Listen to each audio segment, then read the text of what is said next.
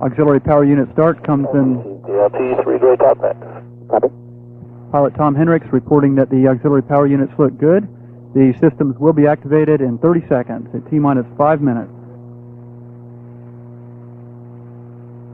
These auxiliary power units provide the power to the hydraulic pumps, which control critical tasks like the mo- movement of orbiter elevons, the rudders, the speed brake, the landing gear, and the main engine thrust vector controllers. Mission Control has just transmitted a signal to start Columbia's onboard flight recorders. Genesis go for orbiter APU start. PLT OTC, perform APU start. APU starts and work. Test, And CDR reconfigure heaters. CD Roger and work. test conductor Mike Key has given pilot Tom Henricks the go to start the auxiliary power units, and Henricks has flipped the proper switches. Commander Steve Nagel has reconfigured Columbia's heaters for launch. It's 4 minutes, 30 seconds away from liftoff of Columbia and the Spacelab D2 module. APU starts complete. Copy that.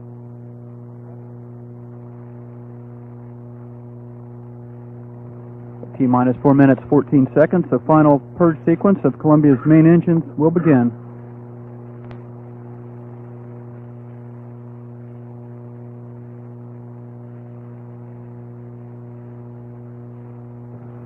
The test of Columbia's flight controls is now starting. The engine should be being gimbaled. Also during this time, the aero surfaces such as the rudder, elevons, and speed brake are being cycled through a programmed test pattern to verify that they are up and ready for launch.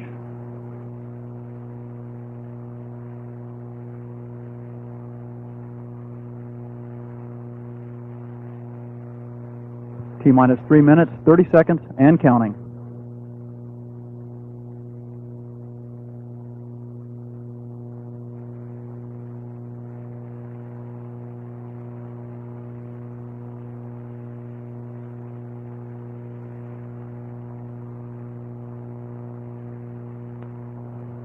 Columbia's main engines are now positioned for launch, and pressurization of the external tank is underway. T minus 3 minutes, 3 seconds, and counting.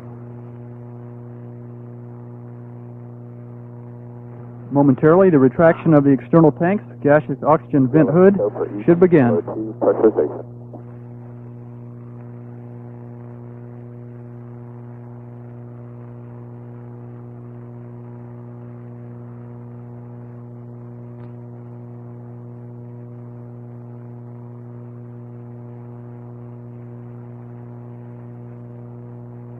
PLT OTC, clear caution warning memory and verify no unexpected errors. Turn the fault. The gaseous oxygen vent hood is being retracted away from the external tank. And orbiter test conductor Mike Key has requested Tom Henricks to clear the ship's caution and warning memory system. That task is reported complete with no anomalies. T minus 2 minutes, 5 seconds, and counting. And flight crew, OTC, close and lock your visors and initiate O2 flow and have a good flight. Good work, and thank you very much. Genesis go for EP, LH2, pressurization. The astronauts have closed their flight visors on their helmets in preparation for this morning's launch.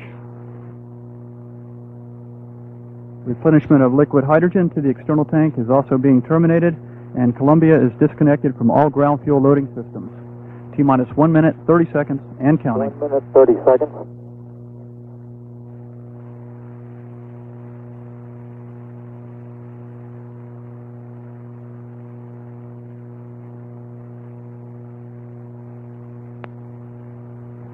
T minus 1 minute, 15 seconds, and counting.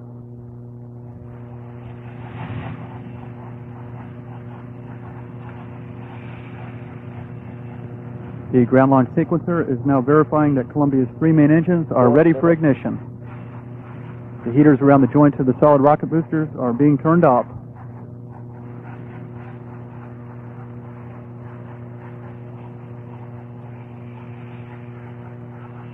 In another 15 seconds, we'll, we'll get the command for auto sequence start.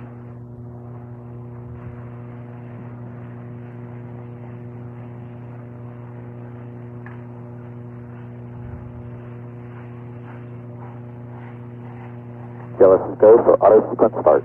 We have a go for auto sequence start. The baton has been passed from the Launch Control Center computers, and Columbia is now in charge of its own launch countdown. T minus 20 seconds. Columbia's vent doors are being moved and configured for flight. T minus 15, coming up on a go for main engine start. 12, 11, 10, T minus 9, 8, 7, 6, 5, 4, 3, 2, 1. Solid rocket ignition and liftoff. Liftoff of Columbia on a voyage to the future. Roll focus. Let it roll, Columbia. Houston is now controlling, and the all maneuver underway. Complete. Columbia is in a northbound position on course for a 28 and a half degree flight, 150 nautical mile orbit.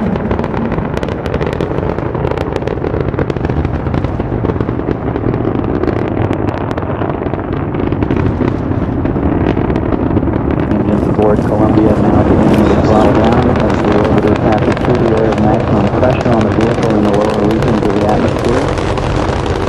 Columbia is now just one nautical mile downrange from the launch site at an altitude of 17,000 feet. Accelerating now to 680 miles per hour.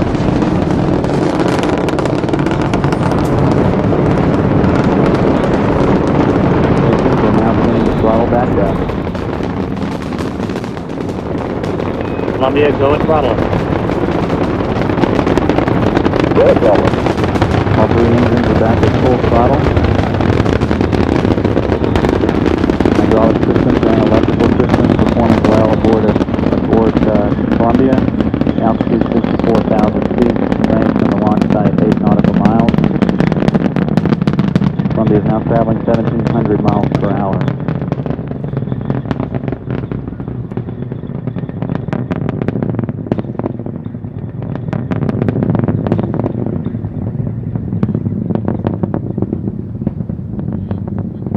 The next event is burnout and separation of the twin solid rocket boosters. That comes at about 2 minutes and 4 seconds.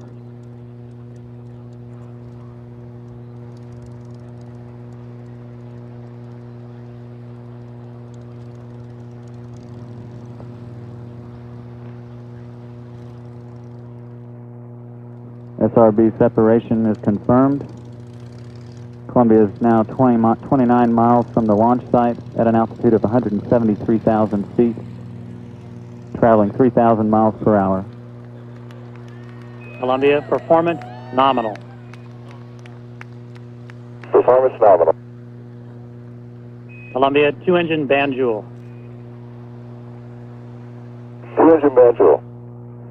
Performance thus far in the mission has been as expected, and Columbia can reach Banjul, uh, the TAL site, in the event of a single engine failure.